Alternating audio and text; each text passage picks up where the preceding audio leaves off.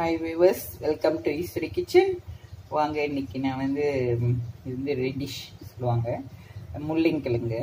So இதை வந்து எப்படி பெரட்டுறதுன்னு பார்க்கலாம். பிள்ளைங்களுக்கு குழந்தைங்களுக்கு நம்ம இந்த மாதிரி செஞ்சு கொடுத்தா ரொம்ப நல்லாயிருக்கும். நீங்கள் பாருங்கள் முதல் இதை நம்ம க்ளீன் பண்ணிவிட்டு பார்வுட் பண்ணிடுவோம். பார்வுட் பண்ணி அந்த தண்ணி புழிஞ்சு எடுத்துடணும்.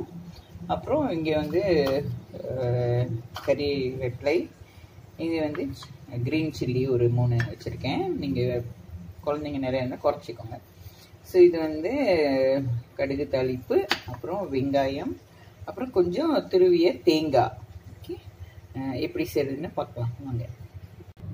ஓகே பாருங்கள் இந்த மாதிரி பார்வுட் எடுத்துக்கோங்க. இந்த இடத்துல நீங்கள் பார்வுட் பண்ணணும் இந்த இடம் இந்த இடம் இல்லை. இந்த இடத்துல சாஃப்டாக நீங்கள் பார்வோட் பண்ணி இதை எடுத்துக்கணும்.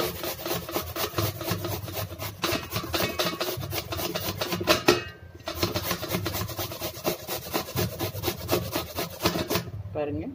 ஸோ இந்த மாதிரி இருக்கணும். ஓகே இந்த மாதிரி எல்லாத்தையும் பார்வர்ட் பண்ணி எடுத்துருங்க. ஓகே வியூவர்ஸ் பாருங்கள் நான் இப்படி நல்லா பார்வர்ட் பண்ணி எடுத்துட்டேன். ஸோ இதை வந்து இப்போ இந்த மாதிரி ஒரு வெள்ளை துணி எடுத்துக்கோங்க. ஸோ அதில் கொஞ்சம் போட்டு நம்ம இதை நல்லா புழிஞ்சு எடுத்துடணும் தண்ணி இல்லாமல் ஆனால் இந்த தண்ணியை வந்து நீங்கள் தனியாக செப்ரேட்டாக குடிக்கலாம்.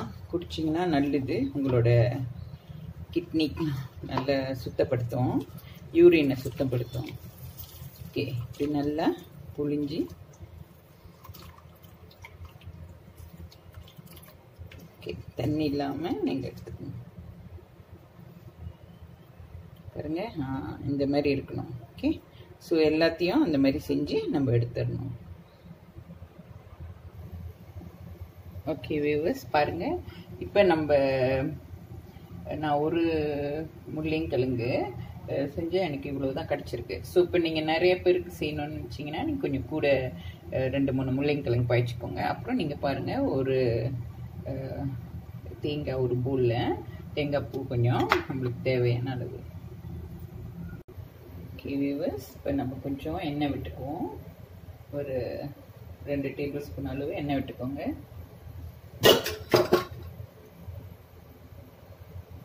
நம்ம கடுகு தாளிப்பு போட்டுக்குவோம். கொஞ்சம் நிறையா போட்டுக்கலாம். குழந்தைங்க விரும்பலைன்னா நீங்கள் கொஞ்சம் குறைச்சி போட்டுக்கோங்க. இப்போ நம்ம கருவேப்பிலை.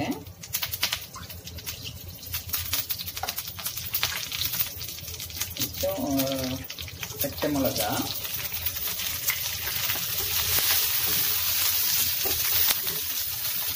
நல்லா கொஞ்சம் நேரம் வதக்குங்க. இதுவும் ரொம்ப ஈஸியான ஒரு சமையல். என்னன்னா நம்ம பார் பண்ண தான் டைம் எடுக்கும். இப்போ நம்ம வெங்காயத்தை போட்டுக்கோம்.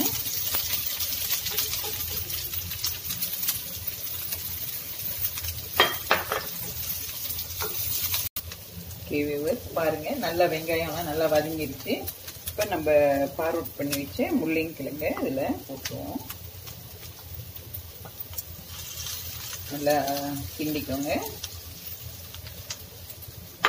ரொம்ப கலரும் மாறாமல் நம்ம எடுக்கணும்னா ஸோ இதை போட்ட தருணத்துலேயே நம்ம நம்மளுடைய தேங்காய் பூவையும் போட்டுடணும்.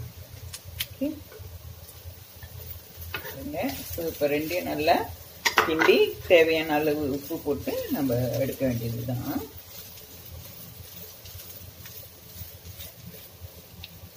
ஓகே வியூவர்ஸ் பாருங்க. நம்மளுடைய இந்த முள்ளங்கிழங்கு வெள்ளையாவே அழகாக இருக்கு இல்லையா? ஸோ இப்போ நான் ஒரு டீஸ்பூன் அளவு சால்ட் போட போகிறேன் போட்டுட்டு கொஞ்ச நேரத்தில் நம்ம இதை ஆஃப் பண்ணிடலாம். உப்பு நீங்கள் அவங்கவுங்க தேவைக்கு தகுந்தாப்புல பார்த்துக்கோங்க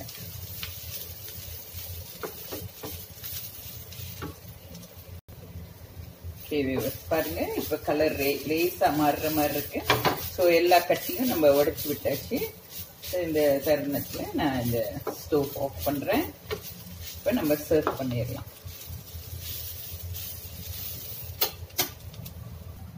ஓகே இப்போ நம்ம அழகாக சர்வ் பண்ணிடலாம்.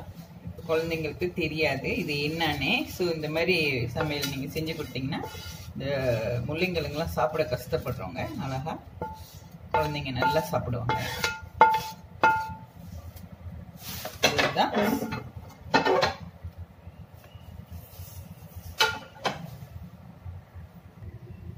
ஓகே வியூவர்ஸ் இவ்வளவு தான் நம்மளுடைய முள்ளங்கிழங்கு அஹ், சமையலை நீங்கள் செஞ்சு பாருங்கள் பிடிச்சிருந்தா லைக் பண்ணுங்க ஷேர் பண்ணுங்க கண்டிப்பாக சப்ஸ்கிரைப் பண்ணிடுங்க இது ஈஸ்வரி கிச்சன் தேங்க்யூ